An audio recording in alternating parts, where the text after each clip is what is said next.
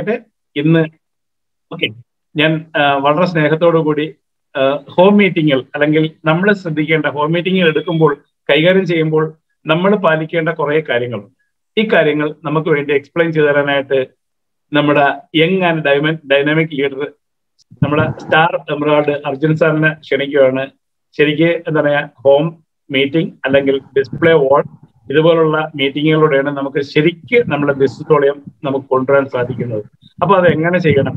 അതിൽ ടൈമിംഗ് അല്ലെങ്കിൽ ആ പ്രധാനപ്പെട്ട സെക്ടർ ഏതാണ്? ഇങ്ങനെയുള്ള കാര്യങ്ങളാണ് പറയുന്നത്. അവിടെ എന്ത് പറയണം എന്ത് പറഞ്ഞുകൂടാ എന്നുകൂടി അർജുൻ സാർ പറഞ്ഞു തരുന്നതാണ് welcome Arjun sir thank you thank you Binu sir എല്ലാവർക്കും നമസ്കാരം. എന്റെ പേര് അർജുൻ. ഞാൻ കോലേജ് സ്വദേശിയാണ്. തൃശ്ശൂരിൽ നിന്ന് വരുന്നു.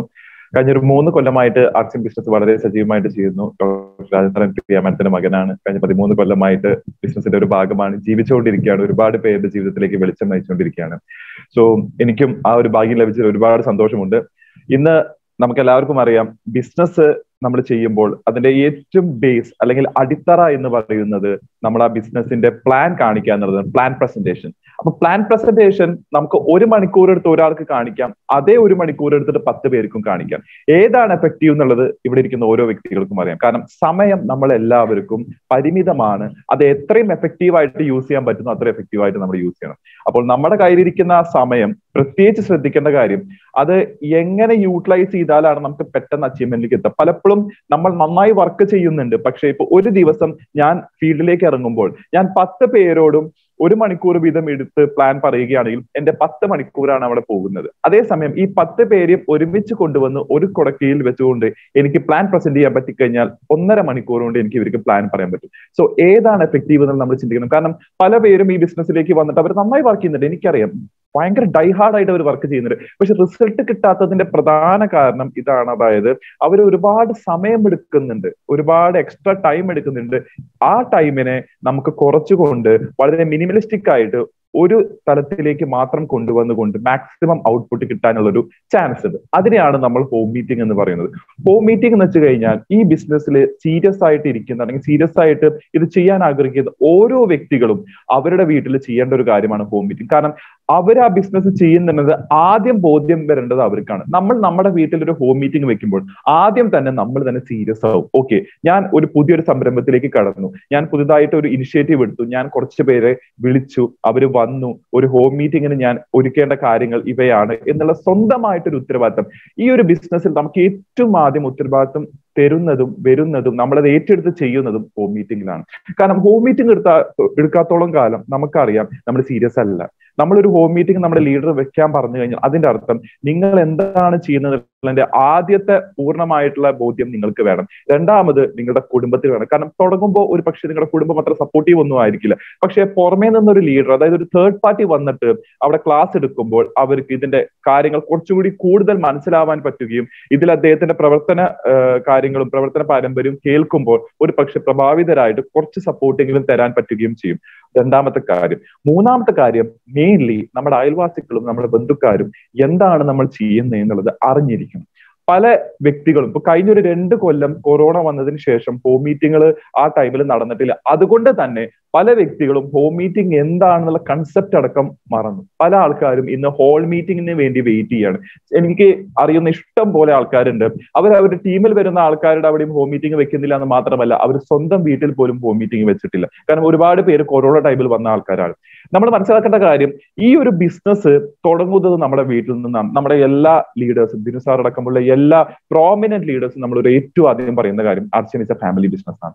അപ്പൊ ആ ഫാമിലി ബിസിനസിന്റെ പ്രാധാന്യം ഏറ്റവും കൂടുതൽ അറിയേണ്ടതും അവരിതിലൊരു ഭാഗമാണെന്ന് മനസ്സിലാക്കി കൊടുക്കേണ്ടതും നമ്മൾ ആ ഫാമിലിനെ തന്നെയാണ്. അത് നമ്മൾ പറഞ്ഞ ഒരു പക്ഷെ അവർക്ക് മനസ്സിലായി എന്ന് വരില്ല. അപ്പോൾ അതിന് നമ്മളൊരു തേർഡ് പാർട്ടി നമ്മൾ കൊണ്ടുവരികയാണ് ചെയ്യുന്നത്. അതായത് നമ്മുടെ active effective growing upline immediate ആയിട്ടുള്ള active effective growing and caring അപ്ലൈനെയാണ് നമ്മൾ കൊണ്ടുവരേണ്ടത്. ഇനി ഹോം മീറ്റിംഗ് എടുക്കാൻ വേണ്ടി നമ്മൾ ആരെ വിളിക്കണം?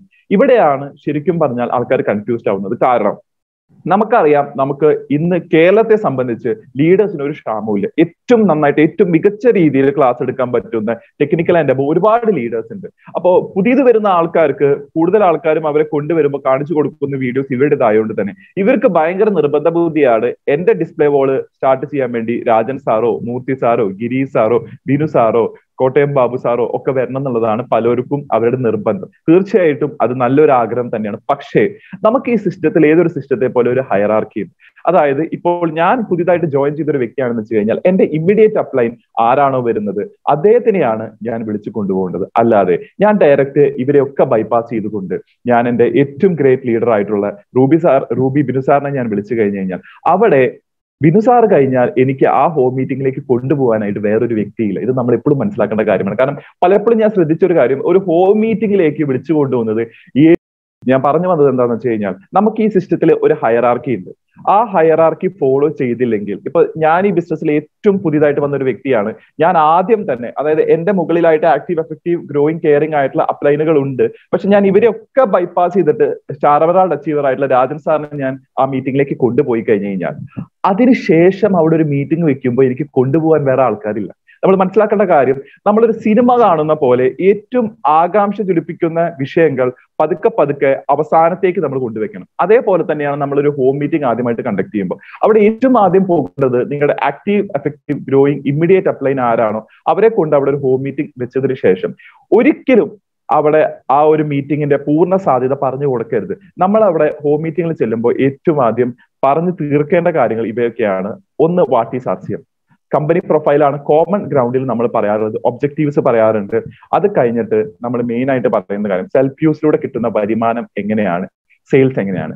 ഈ സെയിൽസിൽ വെച്ചിട്ട് നമുക്ക് നിർത്താൻ പറ്റണം. അതിന്റെ ഒപ്പം തന്നെ നമ്മൾ എടുത്ത് പറയേണ്ട കാര്യം പി യു സി തുടങ്ങിയാലുള്ള ഒരു വരുമാനത്തിന് ഒരു സാധ്യത വേറെയുണ്ട്. അതേപോലെ തന്നെ ഇതിന്റെ ടീം ഡെവലപ്പ് ചെയ്താൽ ഉണ്ടാവുന്ന സാധ്യത അനന്തരമാണ്. ഇത് പക്ഷേ നിങ്ങൾ സ്റ്റാർട്ടിംഗ് സ്റ്റേജിലായതുകൊണ്ട് തന്നെ ഞാൻ കുറച്ച് കഴിഞ്ഞിട്ടേ പറഞ്ഞു തരുന്നുള്ളൂ. അപ്പോൾ ഇത്രയും നിങ്ങൾക്ക് മനസ്സിലാക്കിയാൽ മതി. നമ്മുടെ ജീവിത ചെലവുകൾ കുറയ്ക്കാൻ ആർച്ച് എന്നുള്ള ഒരു പ്രസ്ഥാനം മതി. ഇതിന്റെ ഫർദർ ക്ലാസ്സുകൾ ഉച്ചയ്ക്ക് ശേഷം ഉണ്ടാവും താല്പര്യമുള്ളവർക്ക് ഇരിക്കാം അത്രമാത്രം പറഞ്ഞാൽ മതി. ആരും നിർബന്ധിക്കേണ്ട ആവശ്യമൊന്നുമില്ല. അപ്പൊ പലപ്പോഴും എന്താ സംഭവിക്കുന്നത് വെച്ച് കഴിഞ്ഞാൽ ഫസ്റ്റ് ഹോം മീറ്റിംഗിൽ തന്നെ ഇതെല്ലാം പറഞ്ഞു പോകും. നമ്മൾ മനസ്സിലാക്കേണ്ട കാര്യം നമ്മൾ സ്കൂളിൽ പഠിക്കുന്ന സമയത്ത് നമുക്ക് ആകെ കിട്ടുന്ന സമയം ക്ലാസ്സുകൾ എടുക്കാൻ കിട്ടുന്ന സമയം മുപ്പത് മിനിറ്റ് ആണ്. ആ മുപ്പത് മിനിറ്റ് കഴിഞ്ഞാൽ അടുത്ത സബ്ജക്റ്റ് വരും വെച്ച് കഴിഞ്ഞാൽ മുപ്പത് മിനിറ്റിനപ്പുറം നമ്മുടെ തലച്ചോറിൽ ഈ ഇൻഫർമേഷൻസ് ഒന്നും സ്റ്റോർ ചെയ്യാനുള്ള പവർ നമുക്ക് ഉണ്ടാവില്ല അല്ലെങ്കിൽ നിങ്ങൾ അത്രയും നല്ല പ്രസന്റേറ്റർ ആയിരിക്കണം.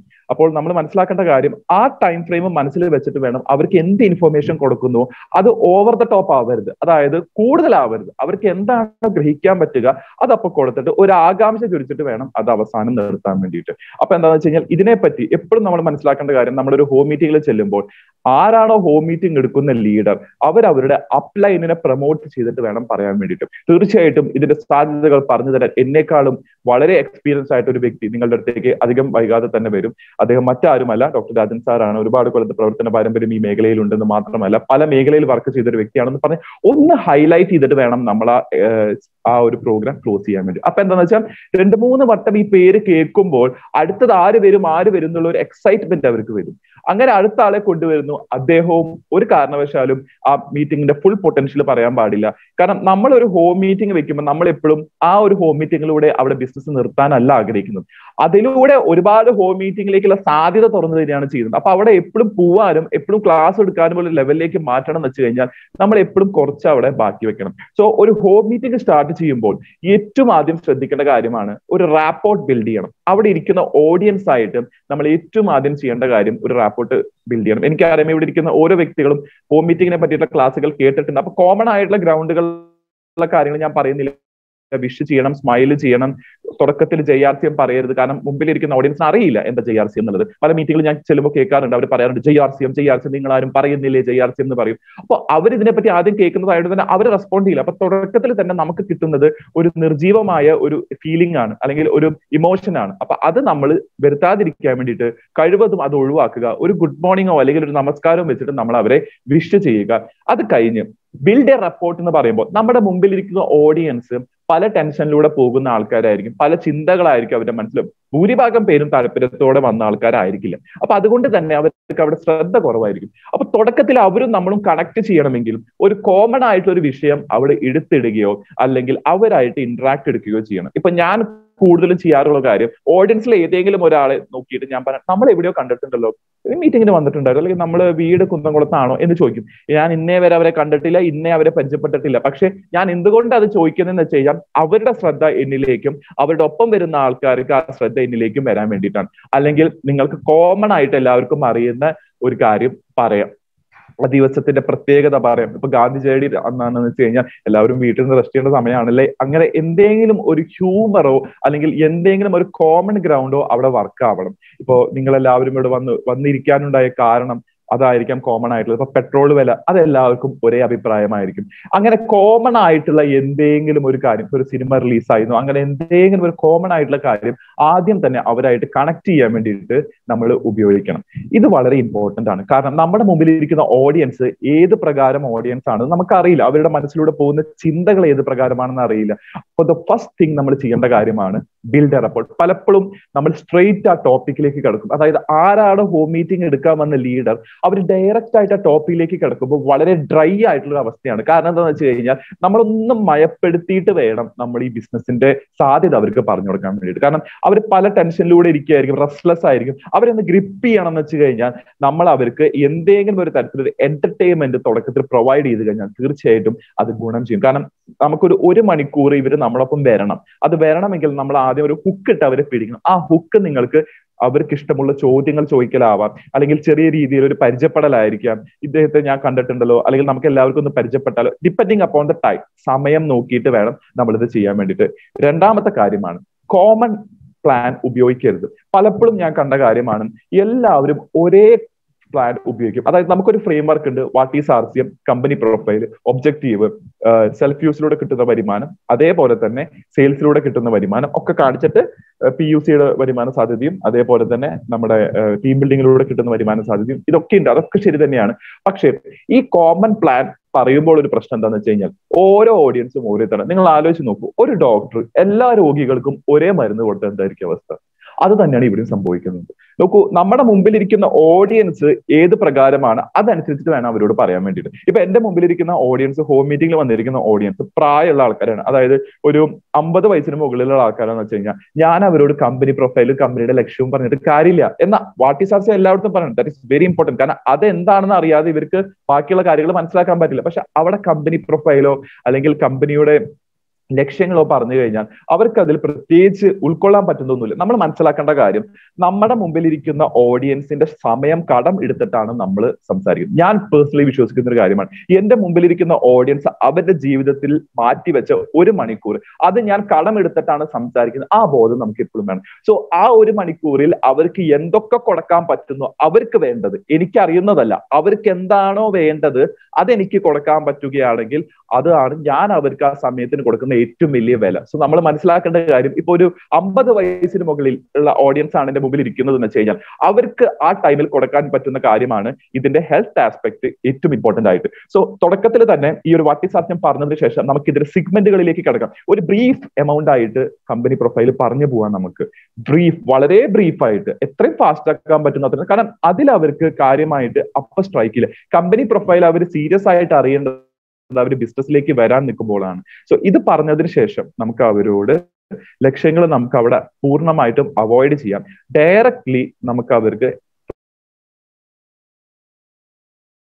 പ്രൊഡക്റ്റുകളിലേക്ക് കിടക്കാം. പ്രൊഡക്റ്റിന്റെ ഗുണമേന്മ കമ്പാരിസൺ കാണിച്ച് നമുക്ക് അവിടെ അത് ക്ലോസ് ചെയ്യാം. സെയിൽ ചെയ്യാൻ ചിലപ്പോൾ ആ ഒരു ഓഡിയൻസിന് പറ്റുന്ന ആൾക്കാർ കുറവായിരിക്കും. അപ്പൊ ഡിപ്പെൻഡിങ് അപ്പോൺ ദ ഓഡിയൻസ് ഇപ്പൊ ഒരു കൂട്ടം കുട്ടികളാണ്. അതായത് ക്ലാസ് കഴിഞ്ഞിട്ട് അതായത് കോളേജ് കഴിഞ്ഞിട്ട് ഇരിക്കുന്ന യുവാക്കളാണ് എന്റെ മുമ്പിൽ ഇരിക്കുന്നതെന്ന് വെച്ച് കഴിഞ്ഞാൽ അവർക്ക് ഹെൽത്ത് ആസ്പെക്ടിനേക്കാളും കൂടുതൽ ക്ലിക്ക് ആവുന്നത് വരുമാന സാധ്യതയാണ്. അപ്പൊ ഞാൻ എന്താ പറയാ? വാട്ടി സാർച്ചയും കഴിഞ്ഞ് ഇതിന്റെ പ്രൊഡക്റ്റ് സെഗ്മെന്റുകൾ ഒരു പത്തോളം ഉണ്ട്. ഇതിൽ നിങ്ങൾക്ക് ഏറ്റവും നന്നായിട്ട് വരുമാന സാധ്യത ഉണർത്തി തരാൻ പറ്റുന്ന സെഗ്മെന്റുകളാണ് എന്ന് പറഞ്ഞിട്ട് സെൽഫ് യൂസിലൂടെ കിട്ടുന്ന വരുമാനം. അത് കഴിഞ്ഞ് ഞാൻ സെയിൽസ് കൂടുതൽ ഫോക്കസ് ചെയ്ത് പറയും.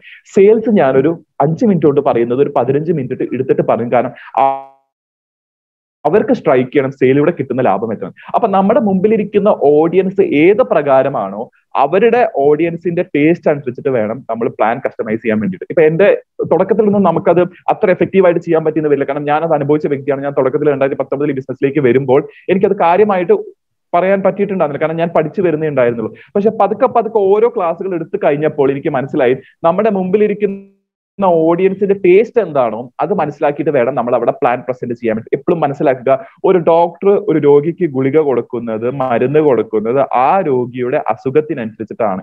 എല്ലാവർക്കും കോമൺ ആയിട്ട് ഒരു ഗുളികയല്ല കൊടുക്കുക. അപ്പോൾ അതേപോലെ നമ്മുടെ ഓഡിയൻസിന്റെ ആവശ്യം മനസ്സിലാക്കിക്കൊണ്ട് അവർക്ക് എന്താണോ വേണ്ടത് അത് കൂടുതൽ ഫോക്കസ് ചെയ്ത് പറയാനുള്ള സമയം നമ്മൾ ഉണ്ടാക്കണം. അത് വളരെ ഇമ്പോർട്ടന്റ് ആണ്. What is R C M പറഞ്ഞോളൂ. കമ്പനി പ്രൊഫൈൽ ബ്രീഫ് ആയിട്ട് ഒന്ന് ഓടിച്ച് പറഞ്ഞോളൂ. ലക്ഷ്യങ്ങൾ അവിടെ പറയേണ്ട ആവശ്യമില്ല. കാരണം എന്താണെന്ന് വെച്ച് കഴിഞ്ഞാൽ അത് ആ ഒരു സമയത്തിന്റെ ഡിപ്പെൻഡൻസി അനുസരിച്ചിട്ടിരിക്കും. അവർ ഓഡിയൻസ് കുറച്ചുകൂടി ഏണസ്റ്റ് ആയിട്ട് കേൾക്കാൻ റെഡി ആയിട്ടിരിക്കുന്ന ഓഡിയൻസ് ആണ്. ബിസിനസ് കൂടുതൽ എക്സ്പ്ലോർ ചെയ്യാനുള്ള ഓഡിയൻസ് ആണെന്ന് വെച്ച് കഴിഞ്ഞാൽ നിങ്ങൾക്ക് പറയാം. പക്ഷേ കൂടുതലും ഞാൻ പറയുന്നു what is R C M company profile self യൂസിലൂടെയുള്ള വരുമാനം സെയിൽസ് പിന്നെ പി യു സി ബെനിഫിറ്റും അത് വേണ്ട ആൾക്കാർ നമ്മളോട് ചോദിച്ചു വരും. ഞാൻ നമ്മളത് ജസ്റ്റ് എടുത്ത് പറയണം. പി യു സിയിലൂടെ കിട്ടുന്ന ഒരു വരുമാന സാധ്യതയും അനന്തരമാണ്. അതിനേക്കാളും ഏറ്റവും വലിയൊരു പാസീവ് ഇൻകം തരുന്ന ഒന്നാണ് ടീം ബിൽഡിംഗ് അത് ഉച്ചയ്ക്ക് ശേഷം ഉണ്ടായിരിക്കും. താല്പര്യമുള്ളവർക്ക് ഇവിടെ ഇരിക്കാം. കുറച്ച് പേര് ഇവിടെ എന്തായാലും അത് കേൾക്കാൻ റെഡി ആയിട്ടുള്ളവർ എന്തായാലും ഇരിക്കും. അപ്പൊ ആരും നിർബന്ധിക്കേണ്ട ആവശ്യമില്ല. നിങ്ങൾ ഇരിക്കൂ പ്ലീസ് ഇരിക്കൂ കുറച്ച് നേരം കൂടി അങ്ങനെ ഒന്നും പറയേണ്ട ആവശ്യമില്ല. നമ്മൾ എപ്പോഴും മനസ്സിലാക്കേണ്ട കാര്യം ആൾക്കാർ എണീറ്റ് പോകുന്നത് മെയിൻ ആയിട്ട് രണ്ട് കാരണത്താലാണ്. ഒന്ന് അവർക്ക് അവോയ്ഡ് ചെയ്യാൻ പറ്റാത്ത എന്തെങ്കിലും ഒരു എമർജൻസി വന്നു കഴിഞ്ഞാൽ ടോട്ടലി അണ്ടർസ്റ്റാൻഡബിൾ രണ്ടാമത് അവർ വിചാരിച്ച സമയത്തിനുള്ളിൽ ഈ സെഷൻ കഴിയാതെ ആവുമ്പോഴാണ് ഭൂരിഭാഗം പേര് വേണ്ടിയിട്ട് പോകുന്നത്. നമ്മൾ എപ്പോഴും മനസ്സിലാക്കേണ്ട കാര്യം നമ്മൾ പറയാണ് അടുത്തൊരു ഒന്നേക്കാൽ മണിക്കൂറാണ് എനിക്ക് തന്ന ടൈം എന്ന് പറഞ്ഞാൽ. ആ ഒന്നേക്കാൽ മണിക്കൂറിനുള്ളിൽ നമ്മൾ തീർത്തിരിക്കണം. ഞാൻ വീണ്ടും വീണ്ടും അടിവരയിട്ട് പറയാണ് നമ്മുടെ മുന്നിലിരിക്കുന്ന ഓഡിയൻസിന്റെ സമയം കടമെടുത്തിട്ടാണ് നമ്മൾ അവരോട് സംസാരിക്കുന്നത്. അവർ ആ ദിവസം ഇമ്പോർട്ടന്റ് ആക്കി മാറ്റി വെക്കുകയോ അല്ലാത്തയോ ആയിട്ടുള്ള സമയമാണെങ്കിൽ പോലും അതിന് നമ്മൾ വില കൊടുക്കണം. കറക്റ്റ് ടൈമിൽ അത് ക്ലോസ് ചെയ്യാനും നമ്മൾ ഒരു മനസ്സ് കാണിക്കണം. അതിനൊത്ത ഒരു പ്രിപ്പറേഷൻ നമുക്ക് വേണം. പിന്നെ ഒരു ഹോം മീറ്റിംഗിൽ നമ്മൾ പറഞ്ഞു എന്ന് വെച്ചിട്ട് എല്ലാ ഹോം മീറ്റിംഗിലും നമുക്ക് അതേ രീതിയിൽ പറയാൻ പറ്റും എന്ന് വിചാരിക്കരുത്. Every home meeting requires a preparation എല്ലാ ഹോം മീറ്റിംഗിലും നമുക്ക് പ്രിപ്പറേഷൻ വേണം. കാരണം നമ്മുടെ മുമ്പിൽ ഇരിക്കുന്ന ഓഡിയൻസ് പല ടൈപ്പ് ഓഡിയൻസ് ആയിരിക്കും. നിങ്ങൾ ഒരു മീറ്റിംഗിൽ ആദ്യം പ്ലാൻ ഒക്കെ പറഞ്ഞു സാധാരണ ഒരു കോമൺ പ്ലാൻ ഒക്കെ പറഞ്ഞ് അതിന്റെ ബിസിനസ് സാധ്യത ഒക്കെ പറഞ്ഞ് പ്രൊഡക്റ്റ് അത്ര പറഞ്ഞില്ലെങ്കിൽ രണ്ടാമത്തെ ഹോം മീറ്റിംഗിൽ ഒരു പക്ഷേ നിങ്ങളോട് ഏറ്റവും കൂടുതൽ ആൾക്കാർ ചോദിക്കുക ന്യൂട്രിചാർജ് സപ്ലിമെന്റിനെ പറ്റിയിട്ടും. അത് നമ്മൾ അറിഞ്ഞിരിക്കണം. ഓരോ സെഗ്മെന്റിനെ പറ്റിയിട്ടും അടിസ്ഥാനപരമായിട്ട് നമ്മൾ അറിഞ്ഞിരിക്കണം എന്ന് മാത്രമല്ല ഓരോ പ്രിപ്പറേഷന് പോകുമ്പോഴും ഓരോ മീറ്റിംഗിന് പോകുമ്പോഴും നമ്മൾ അവിടുത്തെ ലീഡറിനോട് അതായത് ആരാണോ അത് സംഘടിപ്പിച്ചത് അവരെ വിളിച്ച് ചോദിക്കണം. അവിടുത്തെ ഓഡിയൻസ് എങ്ങനെയാണ്? ഏത് ടൈപ്പാണ് നാട്ടിൻപുറമാണോ? അല്ലെങ്കിൽ കുറച്ചും കൂടിയും പഠിപ്പൊക്കെയുള്ള ആൾക്കാരാണോ? അല്ലെങ്കിൽ ജോലി ചെയ്യുന്ന ആൾക്കാരാണോ? വീട്ടമ്മമാരാണോ? കുടുംബശ്രീയിലെ ചേച്ചിമാരാണോ? കാരണം എന്താ? നമുക്ക് അതനുസരിച്ചിട്ട് വേണം പ്രിപ്പയർ ചെയ്യാൻ വേണ്ടിയിട്ട്. ഏറ്റവും ഇമ്പോർട്ടന്റ് ആയിട്ടൊരു കാര്യമാണ് ഓപ്പണിംഗ് സ്റ്റേറ്റ്മെന്റ് നിങ്ങളുടെ മുമ്പിൽ ഇരിക്കുന്നത് സ്ത്രീകളാണെങ്കിൽ നമ്മൾ ഏറ്റവും തുടക്കത്തിൽ പറയേണ്ട ഒരു കാര്യം ഇന്ന് ഇന്ത്യയിൽ നിഷേധിക്കപ്പെടുന്ന തൊഴിൽ സാധ്യതയാണ് അവർക്ക് വേണ്ടിയിട്ടുള്ളത്. അവരുടെ വളർച്ചയ്ക്ക് വേണ്ടിയിട്ടുള്ള ഒരു ഓപ്പണിംഗ് സ്റ്റേറ്റ്മെന്റ് എപ്പോഴും നമ്മൾ കണ്ടിട്ടുണ്ട് കോടതി മുറികളിലൊക്കെ ഏതൊരു എതിർഭാഗമാണെങ്കിലും അല്ലെങ്കിൽ ഡിഫൻസ് ആണെങ്കിലും നമ്മൾ എപ്പോഴും മനസ്സിലാക്കുന്നത് ഇവർക്കൊരു ഓപ്പണിംഗ് സ്റ്റേറ്റ്മെന്റ് ആ ഓപ്പണിംഗ് സ്റ്റേറ്റ്മെന്റിലാണ് ഒരു ഇമ്പാക്ട് ഉണ്ടായിരിക്കുക. അപ്പോൾ എപ്പോഴും നമ്മളൊരു ഓപ്പണിംഗ് സ്റ്റേറ്റ്മെന്റ് പ്രിപ്പയർ ചെയ്യാൻ നമ്മൾ എപ്പോഴും റെഡി ആയിരിക്കണം. നമ്മളത് മാക്സിമം അത് ചെയ്ത് കൊണ്ടുപോകണം. അതിന് നമ്മൾ ആദ്യം അവിടുത്തെ ബാക്ക്ഗ്രൗണ്ട് എന്താന്നുള്ളത് അവിടുത്തെ ലീഡറിനെ വിളിച്ച് നമ്മൾ ചോദിച്ച് മനസ്സിലാക്കും. ഇപ്പൊ സ്ത്രീകളാണ് എന്റെ മുമ്പിൽ ഇരിക്കുന്നതെന്ന് വെച്ച് കഴിഞ്ഞാൽ നമുക്ക് എന്തൊക്കെ പറയാം? അവർക്കുള്ള ജോലി സാധ്യതകൾ നിഷേധിക്കപ്പെടുന്നു എന്നുള്ളത് നമുക്ക് പറയാം. അവരെ സ്വതന്ത്രരാക്കാനുള്ള കാര്യങ്ങൾ നമ്മൾ പറയാം. എങ്ങനെ ആർ സി എം അതിനൊരു പങ്ക് വഹിക്കുന്നു എന്നുള്ളത് അവർക്ക് പറയാം. അപ്പോൾ ആദ്യം അവരുടെ കോമൺ പ്രശ്നങ്ങളെയൊക്കെ അഭിമുഖീകരിച്ച് ഇതിന് എങ്ങനെ ഒരു സൊല്യൂഷൻ ഉണ്ട് എന്ന് ആർ സി എമ്മിലൂടെ കണക്ട് ചെയ്തിട്ട് വേണം നമ്മൾ പറയാൻ വേണ്ടിയിട്ട്. ഇപ്പോൾ നിങ്ങളുടെ മുമ്പിൽ ഇരിക്കുന്നത് വീട്ടമ്മമാരാണെങ്കിൽ തീർച്ചയായിട്ടും കുട്ടികളുടെ കാര്യം അവിടെ കണക്ട് ചെയ്ത് പറയാം. കാരണം എന്താ ഒരുപാട് കുട്ടികൾ ആരോഗ്യ പ്രശ്നങ്ങൾ നേരിടുന്നുണ്ട്. അപ്പോൾ ഈ ഒരു പ്രശ്നങ്ങളെയൊക്കെ എടുത്ത് കാണിച്ച് പിൻ പോയിന്റ് ചെയ്തിട്ട് എന്ത് ചെയ്യണം? ഇതേപോലെ കണക്ട് ചെയ്ത് കിഡ്സിലോട്ട് എത്തണം ഇതാണ് ഇമ്പോർട്ടന്റ് ആയിട്ടുള്ള കാര്യം. ഒപ്പം എല്ലാ മീറ്റിങ്ങുകളിലും നമ്മൾ ഏറ്റവും ഇമ്പോർട്ടന്റ് ആയിട്ട് പറയേണ്ട ഒരു കാര്യമാണ് വൈ. എന്തിനു ചെയ്യണം? ഈ വൈ എല്ലാം പറയേണ്ട ആവശ്യമില്ല. ഞാൻ പറയുന്നു നമ്മുടെ ഓഡിയൻസിന് മുമ്പിൽ ഇരിക്കുന്നത് ആരാണോ നമ്മുടെ മുമ്പിൽ ഇരിക്കുന്നത് ആരാണോ അതനുസരിച്ചിട്ട് വേണം നമ്മൾ വൈ പറയാൻ വേണ്ടിയിട്ട്. അപ്പൊ ഞാൻ പറഞ്ഞപ്പോൾ സ്ത്രീകളാണ് കൂടുതൽ എന്ന് വെച്ച് കഴിഞ്ഞാൽ സ്ത്രീകളുടെ രീതിയിലുള്ള വൈ പറയാം. കുട്ടികളാണ് കൂടുതൽ എന്ന് വെച്ചാൽ കുട്ടികളുടെ രീതിയിലുള്ള വൈ പറയാം. പഠിത്തമുള്ള ആൾക്കാരാണ് ചെറുപ്പക്കാരാണെന്ന് വെച്ചാൽ അവരുടെ രീതിയിലുള്ള വൈ പറയാം. ഒപ്പം ജോലിക്കാരാണെന്ന് വെച്ച് കഴിഞ്ഞാൽ അവരുടെ രീതിയിലുള്ള വൈ പറയാം. റിട്ടയർ ചെയ്ത ആൾക്കാരെന്ന് വെച്ചാൽ അവരുടെ രീതിയിലുള്ള വൈ പറയാം. ആ വൈ ഒന്ന് ഫോക്കസ് ചെയ്ത് പറയാം എല്ലാ വൈ അവിടെ പറയണ്ട. അവർക്ക് എന്താണോ കേൾക്കാൻ കൂടുതൽ താല്പര്യം അതിനെ ഒന്ന് എടുത്ത് ഹൈലൈറ്റ് ചെയ്ത് അത് നേരെ ആർ സി എമ്മിലേക്ക് കണക്ട് ചെയ്യുന്ന രീതിയിൽ വേണം നമ്മൾ പറയാൻ വേണ്ടിയിട്ട്. പിന്നെ എൻഷുവർ ദ ലിസ്ണിംഗ് അവർ ഇത് കേൾക്കുന്നുണ്ട് എന്നുള്ളത് നിങ്ങൾ ഉറപ്പുവരുത്തുക കൊറല എക്സ്പ്രസ് പോലെ പോവരുത്. ചില ആൾക്കാർ പ്ലാൻ തുടങ്ങി പിന്നെ അവസാനം വരെ ഒരേ സ്പീഡിൽ അങ്ങോട്ട് ചെയ്യരുത്. ഇടയ്ക്ക് അവർ കേൾക്കുന്നുണ്ട് എന്നുള്ളതിന്റെ കുറച്ചൊരു ഇന്ററാക്റ്റീവ് സെഷൻ നമ്മൾ അവരായിട്ടൊന്ന് സംസാരിക്കണം. സാർ അങ്ങനെയാണോ? ഇപ്പൊ പെട്രോൾ വിലയൊക്കെ കൂടി വരികയല്ലേ? ഇപ്പൊ ഈ ഇന്ന് എത്ര പെട്രോൾ വില? അപ്പൊ ഇത് ഓരോ ആൾക്കാരോട് ചോദിച്ചു കഴിഞ്ഞാൽ അവർക്ക് റിയലൈസ് ആവും അവരെ ഇടയ്ക്കിടയ്ക്ക് ഒന്ന് പിടിക്കുന്നുണ്ട്. അപ്പൊ അവരൊന്ന് ശ്രദ്ധിച്ചിരിക്കും. നമ്മൾ എപ്പോഴും ഈ ഒരു ഇത് മെയിന്റെയിൻ ചെയ്യണം. അല്ലെങ്കിൽ എന്താണെന്ന് വെച്ച് കഴിഞ്ഞാൽ നമ്മളൊരു സ്പീഡിൽ പോകും അവർ അവരുടെ ചിന്തകളിൽ വേറൊരു സ്പീഡിലേക്ക് പോകും നമ്മൾ പോകുന്ന ദിശ ഈ സൈഡ് ആണെങ്കിൽ ഇരിക്കുന്ന ഓഡിയൻസ് പോകുന്ന ദിശ ഈ സൈഡ് രണ്ടും ഒരിക്കലും കൂട്ടിമുട്ടില്ല. അപ്പൊ നമ്മൾ ചെയ്യേണ്ട കാര്യം എന്താണെന്ന് വെച്ച് കഴിഞ്ഞാൽ ഇത് ക്ലാസ് എടുക്കുമ്പോൾ ഇടയ്ക്ക് അവരായിട്ടൊന്ന് ഇന്ററാക്ട് ചെയ്യുക. അങ്ങനെയല്ലേ സാർ എന്നിട്ട് ഒന്ന് ഷോൾഡറുമേ ഒന്ന് ചെറുതായിട്ടൊന്ന് തട്ട് ആ സാറിന്റെ പേരെന്താ? ഓക്കെ സാറ് പറയും. ഇപ്പൊ പച്ചക്കറിക്കൊക്കെ ഇപ്പൊ എങ്ങനെയാ വില വരുന്നത്? അല്ലെങ്കിൽ ഓയിലിന് ഇപ്പൊ എങ്ങനെ വില വരുന്നത്? സാറ് വീട്ടിൽ എങ്ങനെ വീട്ടിൽ തന്നെ എണ്ണ ഇതാക്കുകയാണോ ചെയ്യുന്നത്? അതോ പുറമേ നിന്ന് വാങ്ങുകയാണോ ചെയ്യുന്നത്? ഏതാണ് സാറിന് തോന്നുന്നത് നല്ലത്? അപ്പൊ ഇങ്ങനെ ചില ചോദ്യങ്ങൾ നമ്മൾ അവരായിട്ട് ഒന്ന് ചോദിക്കണം. അധികം ഭാരിച്ച ചോദ്യങ്ങൾ ചോദിക്കരുത്. കാരണം ചിലപ്പോൾ ഒരു ബുള്ളറ്റ് ഇങ്ങോട്ട് തിരിച്ചു വരും. ചോദിക്കുന്ന ചോദ്യത്തിന് ഒരു ഉത്തരമേ വരൂ എന്നുള്ള രീതിയിലത്തെ ചോദ്യങ്ങൾ വേണം നമ്മൾ ചോദിക്കാൻ വേണ്ടി. ഇപ്പൊ പെട്രോൾ വില നിങ്ങൾ ചോദിച്ചോളൂ. ഒരാളും അത് കുറവാണെന്ന് പറയില്ല. അപ്പൊ അങ്ങനത്തെ ചോദ്യങ്ങൾ വേണം നമ്മൾ കറക്റ്റ് ആയിട്ട് ഫ്രെയിം ചെയ്ത് ചോദിക്കാൻ വേണ്ടി. തീർച്ചയായിട്ടും ഇത് തുടക്കത്തിൽ അതായത് ഏറ്റവും ആദ്യമായിട്ട് ഹോം മീറ്റിംഗ് എടുക്കുന്ന ഒരാളെ സംബന്ധിച്ച് ഇത് ടൈം എടുത്തിട്ട് അവർ പഠിച്ച് പഠിച്ച് വരും. ഓരോ മീറ്റിംഗ് കഴിയും തോറും നമ്മൾ ബെറ്റർ ബെറ്റർ ബെറ്റർ ആയിട്ട് വരും. ഒപ്പം തന്നെ ഈ ഒരു ലിസണിങ് നമ്മൾ തുടക്കം തൊട്ട് അവസാനം വരെ എൻഷുർ ചെയ്യാൻ ഈ ഇന്ററാക്റ്റീവ് സെഷൻ കണ്ടിന്യൂ ചെയ്യണം. That brings to me the last point അതായത് നമ്മൾ ബോർഡിൽ എഴുതുമ്പോൾ ഒന്ന് കയ്യക്ഷരം നല്ലതായിരിക്കും രണ്ട് ഒരു കാരണവശാലും ബോർഡ് കവർ ചെയ്ത് എഴുതരുത്. പലപ്പോഴും ഞാൻ ശ്രദ്ധിച്ചിട്ട് ആൾക്കാർ ഫുൾ ബോർഡ് കവർ ചെയ്തിട്ട് എഴുതുക. അപ്പൊ എന്താണെന്ന് വെച്ച് കഴിഞ്ഞാൽ ഇരിക്കുന്ന ആൾക്ക് കൂടുതലും കാണുന്നത് നിങ്ങളുടെ ബാക്കാണ് നമ്മൾ ഇത്തിരി സൈഡിലേക്ക് ആക്കിയിട്ട് ഇങ്ങനെ വേണം നമ്മൾ എഴുതാൻ അപ്പൊ അവർക്ക് കാണാൻ സാധിക്കണം നമ്മൾ ആ ഒരു ആകാംക്ഷ അവരിൽ വേണം. എന്താണ് നമ്മൾ എഴുതുന്നതിന്റെ ഒരു ആകാംക്ഷ അവരിലേക്ക് വേണം. അപ്പൊ നമ്മളത് എഴുതി പോകുമ്പോൾ അവർക്ക് അത് ഫോളോ ചെയ്യാൻ പറ്റുന്ന രീതിയിൽ നല്ല കയ്യക്ഷരം ആയിരിക്കണം. ഇനി ഈ ഹോം മീറ്റിംഗ് ഒക്കെ എടുത്തു കഴിഞ്ഞിട്ട് ഒരിക്കലും ഒരു നിശ്ചിത സമയത്തിനപ്പുറം ഒരു ലീഡർ അവിടെ ഇരിക്കാൻ പാടില്ല. This is from my personal experience കാരണം അവിടെ ആ ഹോം മീറ്റിംഗ് കഴിഞ്ഞ് maximum you can spend is ഒരു അരമണിക്കൂർ അല്ലെ എന്താന്ന് വെച്ച് കഴിഞ്ഞാൽ നമ്മൾ അവിടെ എത്ര കൂടുതൽ ഇരിക്കുന്നു അത്രത്തോളം നമ്മുടെ സമയത്തിന്റെ ഇമ്പോർട്ടൻസ് അവർ കുറച്ച് കാണും. ഇതാണ് സത്യം. ആ ഹോം മീറ്റിംഗ് കഴിഞ്ഞ് ഒരു അരമണിക്കൂർ നിങ്ങൾക്ക് അവിടെ ഡൗട്ട് ക്ലിയർ ചെയ്ത് ഇരുന്ന് കഴിഞ്ഞാൽ നിങ്ങൾക്ക് അന്ന് വേറെ ഒരു പണിയില്ലെങ്കിൽ പോലും നിങ്ങൾ പറയണം എനിക്ക് വേറൊരു മീറ്റിംഗ് ഉണ്ട് ഞാൻ പോകാനുള്ളത് ഇറ്റ്സ് വെരി ഇമ്പോർട്ടന്റ് കാരണം നമ്മൾ എത്ര നേരം അവിടെ ഇരിക്കുന്നുവോ അത്ര നേരം അവർക്ക് തോന്നും നമുക്ക് സമയം സ്പെൻഡ് ചെയ്യാൻ ഇഷ്ടം പോലെയുണ്ട്. സോ അടുത്ത വട്ടം വീണ്ടും കോൾ നിങ്ങൾക്ക് തന്നെ വന്നുകൊണ്ടിരിക്കും. ഇത് വളരെ ഇമ്പോർട്ടന്റ് ആണ്. കാരണം നമ്മുടെ അവിടുത്തെ വർക്ക് കഴിഞ്ഞാൽ അപ്പൊ തന്നെ നമ്മൾ സ്ഥലം വിടണം. നമ്മൾ അവിടെ കൂടുതൽ അവരായിട്ട് ഇന്ററാക്ട് ചെയ്യാനോ അവിടെ സംസാരിക്കാനോ ഒരുപാട് നേരം അവിടെ നിന്ന് ചായ കുടിച്ച് ഭക്ഷണമൊക്കെ കഴിച്ച് പോരാൻ നിൽക്കരുത്. കാരണം അവരുടെ സമയത്തിനും വിലയുണ്ട് നമ്മുടെ സമയത്തിനും വിലയുണ്ട്. വെരി ഇമ്പോർട്ടന്റ് നമുക്ക് ഒരു റെസ്പെക്ട് വേണം. ആ ഒരു റെസ്പെക്ട് നമ്മൾ ചെയ്യുന്ന ഈ ഒരു പ്രൊഫഷനോട് കൂടുതൽ കാണിക്കുന്ന രീതിയിൽ വേണം നമ്മളും പെരുമാറാൻ വേണ്ടി. വർക്ക് കഴിഞ്ഞ് കഴിഞ്ഞാൽ അപ്പൊ പോവുക. അവിടെ കൂടുതൽ നേരം നമ്മൾ സ്പെൻഡ് ചെയ്യേണ്ട ആവശ്യമില്ല. ആ ഒരു ഡൗട്ടുകളൊക്കെ ക്ലിയർ ചെയ്തതിന് ശേഷം പിന്നെ അവിടെ വേറൊരു ക്ലാസ് വെക്കണ്ട അത് കഴിഞ്ഞ് അവർക്ക് ബേസിക് ഇൻസ്ട്രക്ഷൻസ് കൊടുക്കുക പോരുക. ബാക്കി കാര്യങ്ങൾ ഞാൻ ഫോണിലൂടെ സംസാരിക്കുന്നതായിരിക്കും. ദാറ്റ്സ് ഇറ്റ് അപ്പൊ എന്താന്ന് വെച്ച് കഴിഞ്ഞാൽ അവിടെ ഫുൾ ആയിട്ടുള്ള ലെവലുള്ള ഒരു തലച്ചോറിന്റെ പ്രവർത്തനം അവിടെ കുറയും. കാരണം എന്താണോ കിട്ടേണ്ടത് അതൊക്കെ കൊടുത്തു കഴിഞ്ഞു. പിന്നെ നമ്മൾ കൂടുതൽ പറയാനിരുന്നു കഴിഞ്ഞാൽ ഒരു പോയിന്റിനപ്പുറം ഈ തലച്ചോറ് കേൾക്കില്ല അപ്പോൾ നമ്മൾ അതൊക്കെ കഴിഞ്ഞതിന് ശേഷം ബാഗ് എടുക്കുക പോവുക. പോവാണ്. എനിക്ക് വേറൊരു സ്ഥലത്ത് ഒരു മീറ്റിംഗ് ഉണ്ട്. ദാറ്റ്സ് ഇറ്റ് അപ്പൊ ഇത് വളരെ ഇമ്പോർട്ടന്റ് ആണ്. പ്ലസ് ക്ലോസിങ്ങിന്റെ സമയത്ത് ആരെയാണോ ക്ലോസിങ്ങിന് വിളിക്കുന്നത് അത് ഇമ്പാക്റ്റ് ഉള്ള ആളായിരിക്കണം ഈ ബിസിനസിനെ പറ്റിയിട്ട് കുറച്ച് അറിവുള്ള ആളായിരിക്കണം. ഒരു ഓഡിയൻസിനെ കൈകാര്യം ചെയ്യാൻ പറ്റുന്ന ആളായിരിക്കണം. ദിസ് വെരി ഇമ്പോർട്ടന്റ് കാരണം പലപ്പോഴും ഒരു ലീഡർ ഒരു മണിക്കൂർ ഒന്നേക്കാൾ മണിക്കൂർ തൊണ്ട പൊളിച്ചിട്ട് അതിന്റെ സകല എഫക്റ്റും ഈ ക്ലോസിങ്ങിൽ കളയും. കാരണം എന്താ? ആ ക്ലോസിങ് വലിച്ചു നീട്ടി റബ്ബർ വാൽ പോലെ നന്ദി. ഇത് സംഘടിപ്പിച്ച ആൾക്ക് നന്ദി. ഇന്ന് ഈ ഒരു വീടിന്റെ അടിത്തറ കെട്ടിയ ആൾക്ക് നന്ദി. ഇതിന്റെ ഫർണിച്ചർ പണിത് ആശാരിക്ക് നന്ദി. അപ്പുറത്തെ വീട്ടിലത്തെയും ഇപ്പുറത്തെ വീട്ടിലത്തെയും അയൽവാസ അയൽവാസികൾ പ്രശ്നങ്ങളൊന്നും ഉണ്ടാക്കാതിരിക്കാൻ അവർക്ക് നന്ദി. എന്നെ ജനിപ്പിച്ച അച്ഛന് നന്ദി അമ്മയ്ക്ക് നന്ദി. അങ്ങനെ ഒരു നന്ദി പ്രകാശം നാൽപ്പത്തഞ്ച് മിനിറ്റ് നടത്തും അങ്ങനെ കേസുകൾ ഉണ്ടായിട്ടുണ്ട്. അതുകൊണ്ടാണ് പറയുന്നത്. ഒരു എഫക്റ്റീവ് ആയിട്ട് ഒരു മീറ്റിംഗ് കഴിഞ്ഞ് നാൽപ്പത്തഞ്ച് മിനിറ്റ് എടുത്ത് ക്ലോസ് ചെയ്ത കേസസ് ഉണ്ടായിട്ടുണ്ട്. Don't do that just close in three minutes മൂന്ന് മിനിറ്റ് അവിടെ നിങ്ങളുടെ അഭിപ്രായം പറയുന്നതിന്റെ ഒപ്പം തന്നെ പറയേണ്ട ഒരു കാര്യമാണ് നിങ്ങൾ എന്ത് തീരുമാനമെടുക്കുന്നത്. അല്ലാതെ അവിടെ നന്ദി പ്രകാശനമല്ല ചെയ്യേണ്ടത്. ഇന്ന് ഈ ഒരു പ്രോഗ്രാം നമുക്ക് വേണ്ടി സംഘടിപ്പിച്ചതും ഇന്ന് ഇവിടെ വന്ന എല്ലാ വ്യക്തികൾക്കും നമുക്ക് വേണ്ടി ഇത്രയും തന്നെ ക്ലാസ് എടുത്ത സാറിനും നന്ദി.